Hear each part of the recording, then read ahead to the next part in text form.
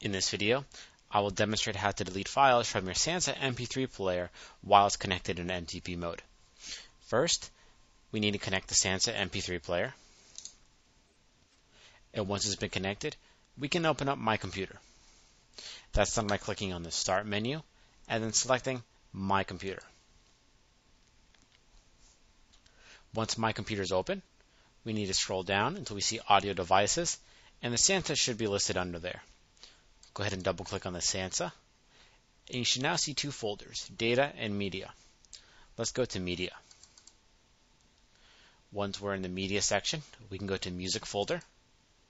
And here I currently list all the artists on the player. To delete all the songs from an artist, right click on the artist and then select Delete from the drop down. This will delete all of the songs from the artist on the player. Now, to delete a particular album from that artist, double click on the artist, and then within the albums there, right click on the album you wish to delete, and then select delete. Go ahead and click yes, and now that album from that artist has been deleted.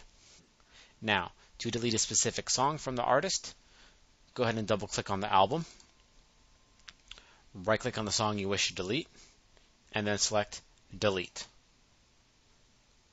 Go ahead and click on yes and now just that one song has been deleted. This is how you delete songs from your Sansa MP3 player while it's in MTP mode.